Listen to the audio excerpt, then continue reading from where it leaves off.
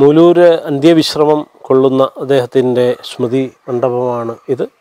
ഇത് ഇലവന്തിട്ടയിലെ ഈ കേരളവർമ്മ സൗധത്തിന്റെ മുകളിലുള്ള ഒരു സ്ഥലത്താണ് അദ്ദേഹത്തെ അടക്കം ചെയ്തത്. കാരണം ആയിരത്തി തൊള്ളായിരത്തി മുപ്പത്തി ഒന്നിൽ അദ്ദേഹം മാർച്ച് മാസത്തിൽ വസൂരി ബാധിച്ചാണ് അദ്ദേഹം മരണമടഞ്ഞത്.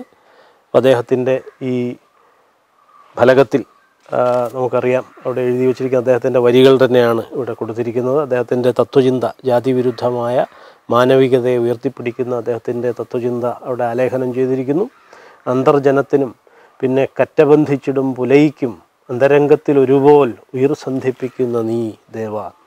നാട്ടുകാർ നിന്ന് സേവിക്കും മഹാരാട്ടിനും റോട്ട് തുടയ്ക്കും തോട്ടിക്കും തുല്യഭാവത്തിൽ കരം നീട്ടുന്നു നീ ഉടമസ്ഥൻ എന്ന അദ്ദേഹത്തിന്റെ ആ മാനവികതയാർന്ന ഗുരുവിന്റെ തത്വചിന്തയെ മനുഷ്യാണം മനുഷ്യത്വം ജാതി എന്ന് പറയുന്ന ആ സമതയെയും കരുണയെയും സ്ഫരിപ്പിക്കുന്ന വരികൾ നമുക്കിവിടെ വായിക്കാവുന്നതാണ്. അപ്പോൾ ചില്ലുവഴക്ക് പോലെ തന്നെ മൂലൂരിന്റെ കാവ്യ കലാപങ്ങളിൽ ഏറ്റവും സുപ്രധാനമാണ് അദ്ദേഹത്തിന്റെ കവി രാമായണ സംവാദം എന്ന് പറയുന്നത്. അപ്പോൾ അന്നത്തെ കാലത്ത് പ്രത്യേകിച്ചും ഇരുപതാം നൂറ്റാണ്ടിന്റെ തുടക്കത്തിൽ പോലും കേരളത്തിന്റെ കവിതയിൽ മലയാള ഭാഷയിൽ അധീശത്വം ജാത്യാധീശത്വം തന്നെയായിരുന്നു. അവർണർക്കും മറ്റ് ദളിത ബഹുജനങ്ങൾക്കും ന്യൂനപക്ഷങ്ങൾക്കും സ്ത്രീകൾക്കും പോലും യാതൊരു ഇടവും ഉണ്ടായിരുന്നില്ല ആ രംഗത്ത് സാംസ്കാരിക സാഹിത്യ രംഗത്ത്. ഇപ്പോൾ പത്തൊമ്പതാം നൂറ്റാണ്ടിന്റെ അവസാനം കൊടുങ്ങല്ലൂർ കുഞ്ഞിക്കുട്ടൻ തമ്പുരാൻ അദ്ദേഹം കവി മഹാഭാരതം എന്ന ഒരു പ്രോജക്റ്റ് നടത്തുന്നതായിട്ട് പ്രസിദ്ധം ചെയ്തു. അപ്പോൾ കവി മഹാഭാരത രചനയുടെ ഈ പരസ്യം വന്നപ്പോൾ തന്നെ മൂലൂര് അതിനോട് പ്രതികരിച്ചുകൊണ്ട് എഴുതി അവർണരിൽ നിന്ന് ഈ ജാതി മർദ്ദനത്തെ കിരാതമായ മധ്യകാലം മുതൽ തുടങ്ങിയ ഈ ജാതി മർദ്ദനത്തെയും ഒഴിവാക്കലിനെയും ഒക്കെ പ്രതിരോധിച്ചുകൊണ്ട് അതിനോടൊക്കെ വളരെയധികം പ്രതിരോധം സമരം ചെയ്തുകൊണ്ട് നിരവധി പുതിയ കാവ്യ വിഷയികൾ ഉയർന്നു വന്നിട്ടുണ്ട്. അതിലേറ്റവും പ്രധാനി തത്വചിന്തകനായ നാരായണഗുരു തന്നെയാണ്. കേരള കവിതയിലെ ഏറ്റവും അനശ്വരനായ താത്വിക യോഗി ഗുരു തന്നെയാണ് ഗുരുവിന്റെ മലയാളത്തിലുള്ള കവിത. അതുപോലെ തന്നെ ഗുരുവിന്റെ സതീർത്ഥ്യരായിരുന്ന അവർണ കവികളായിട്ടുള്ള വെളുത്തേരിയും വെളുത്തേരി കേശവൻ വൈദ്യരും പെരുന്നെല്ലി കൃഷ്ണൻ വൈദ്യരും ഉണ്ട് അവരുടെ കവിതകൾ. അതുപോലെ തന്നെ ന്യൂനപക്ഷങ്ങളിൽ നിന്ന് വന്നിട്ടുള്ള കണ്ടത്തിൽ വർഗീസ് മാപ്പിളയെ പോലെയുള്ള പത്രാധിപന്മാരും കവികളും ഒക്കെ ഉണ്ട്. സ്ത്രീകളിൽ നിന്ന് നിരവധി തൊട്ടക്കാട്ട് ഇക്കാവമ്മയടക്കമുള്ള കവികളുണ്ട്. അപ്പോൾ ചുരുങ്ങിയത് നാരായണ ഗുരുവിനെയും വെളുത്തേരിയെയും മുതിർന്ന കവികളായ അവർണ കവികളായ വെളുത്തേരിയെയും പെരുന്നെല്ലിയെയും എങ്കിലും ഇതിൽ ഉൾപ്പെടുത്തണം എന്ന് അഭ്യർത്ഥിച്ചുകൊണ്ട് കാവ്യരൂപത്തിൽ തന്നെ മൂലൂര് അതിന് ഒരു ഒരു തിരുത്ത് അല്ലെങ്കിൽ ഒരു പ്രതികരണം അദ്ദേഹം പ്രസിദ്ധീകരിച്ചു. പക്ഷെ നിർഭാഗ്യകരമെന്ന് പറയാം മൂലൂരിന്റെ ഈ അഭ്യർത്ഥനയെ തൃണവൽഗണിച്ചുകൊണ്ട് കൊടുങ്ങല്ലൂർ കുഞ്ഞിക്കുട്ടൻ തമ്പുരാൻ അതിൽ നാരായണ ഗുരുവിനെ പോലും ഉൾപ്പെടുത്തിയില്ല. അവർണനായതിന്റെ പേരിൽ നാരായണ ഗുരുവിനെ പോലും ഉൾപ്പെടുത്താതെയാണ് കൊടുങ്ങല്ലൂർ കുഞ്ഞിക്കുട്ടൻ തമ്പുരാന്റെ മഹാഭാരതം പുറത്തേക്കിറങ്ങിയത്. അപ്പോൾ ഇത് മൂലൂര് വലിയ ഒരു സാംസ്കാരികമായ അവമതിയായി കരുതുകയും ഇതിനെ സാംസ്കാരികമായ സമാധാനപരമായ ഒരു മറുപടി ഒരു പ്രത്യുത്തരം എന്ന രീതിയിൽ അദ്ദേഹം മറ്റൊരു കാവ്യത്തിന്റെ രചന നടത്തുകയുണ്ടായി.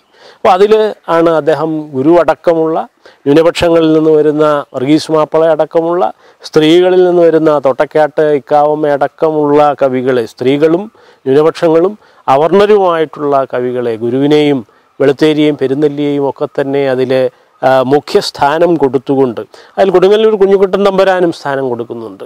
പരശുരാമനായി കുഞ്ഞുകുട്ടൻ തമ്പുരാൻ തന്നെയാണ് അതിൽ വരുന്നത്. അപ്പോൾ ഇവരെ എല്ലാം ഉൾക്കൊള്ളിച്ചുകൊണ്ട് വളരെ ബഹുസ്വരമായ രീതിയിൽ വളരെ ജനായത്തപരമായ രീതിയിൽ വളരെ ഉൾക്കൊള്ളുന്ന രീതിയിലുള്ള ഒരു സാംസ്കാരിക പരിശ്രമമായി അദ്ദേഹം കവി രാമായണം ചമയ്ക്കുകയും അത് അന്നത്തെ സാഹിത്യ സാംസ്കാരിക മേഖലയിൽ പ്രത്യേകിച്ചും അന്നത്തെ സാഹിതീയ സന്ദർഭത്തിൽ സംവാദങ്ങളിൽ വലിയ ഒരു സംവാദമായി വരികയും അതൊരു അക്ഷര സമരമായി അംഗീകരിക്കപ്പെടുകയും അവർണരായിട്ടുള്ള ഗുരു അടക്കമുള്ള ആ, കവികൾ യഥാർത്ഥത്തിൽ കേരളത്തിന്റെ കാവ്യ സാംസ്കാരിക സാഹിത്യ ചരിത്രത്തിന്റെ ഭാഗമായി വരികയും ആണ് ഉണ്ടായിട്ടുള്ളത്. കവി മഹാഭാരത സൃഷ്ടിയിൽ കൊടുങ്ങല്ലൂർ കുഞ്ഞിക്കുട്ടൻ തമ്പുരാൻ ഒരു അവർണരെയും പരിഗണിച്ചില്ല.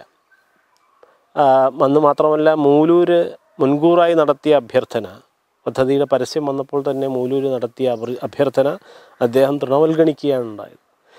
അപ്പോൾ ബലഭദ്രർക്ക് മദ്യം കൊടുക്കുവാനായിട്ട് പോലും ഒരു ഈഴവനെ അതിൽ പിടിച്ചിടുവാൻ തിരുമേനിക്ക് ദാക്ഷിണ്യം തോന്നിയില്ല എന്നാണ് മൂർക്കോത്ത് കുമാരൻ ഇതിനെക്കുറിച്ച് എഴുതിയിട്ടുള്ളത്. അപ്പോൾ മൂലൂര് മുൻകൂറായി നടത്തിയ അഭ്യർത്ഥന ഇങ്ങനെയായിരുന്നു. കവിതയിൽ അദ്ദേഹം പറയുകയാണ് കുഞ്ഞിക്കുട്ടൻ തമ്പുരാനോട് അഭ്യർത്ഥിക്കുകയാണ് കൊട്ടാരം വൈദ്യനാഥ കേശവനാമധേയൻ കൃഷ്ണീന്ദ്രവംശം അകുടീമണി നാണുയോഗി.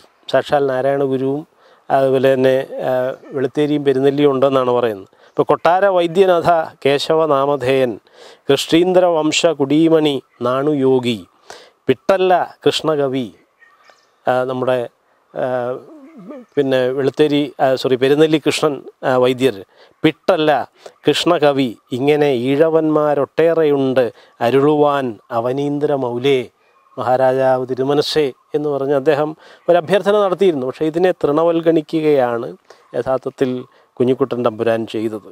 എന്നാൽ മൂലൂർ ഇതിന് പ്രതികരണമായി ചമച്ച കവി രാമായണത്തിൽ ഇവരെ എല്ലാം ആ, ഉൾപ്പെടുത്തുകയുണ്ടായി. കുഞ്ഞിക്കുട്ടൻ തമ്പുരാൻ മാത്രമല്ല അദ്ദേഹത്തിന്റെ ജ്യേഷ്ഠനായി കരുതിയ കേരളവർമ്മ വലിയ കോയി തമ്പുരാനെ കുറിച്ചുണ്ട്.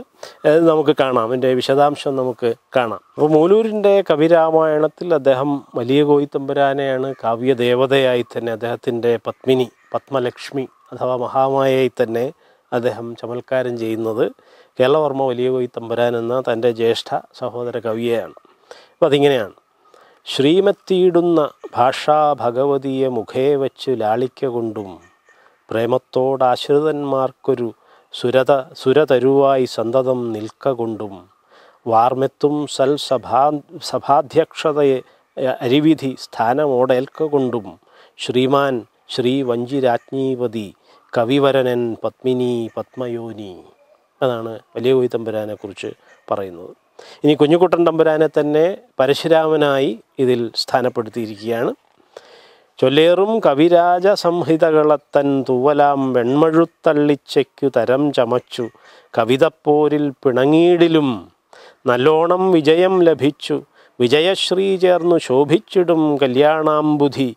കുഞ്ഞുക്കുട്ട ധരണീ പാലേശ്വരൻ ഭാർഗവൻ അദ്ദേഹത്തെ പരശുരാമനാക്കിയിരിക്കുകയാണ്. ഇനി ആദ്യമായി കേരള ചരിത്രത്തിൽ കേരളത്തിന്റെ സാഹിത്യ ചരിത്രത്തിൽ കണ്ടത്തിൽ വർഗീസ് മാപ്പിളയെ ഒരു കവിയായിട്ട് അദ്ദേഹം അവതരിപ്പിക്കുകയാണ്.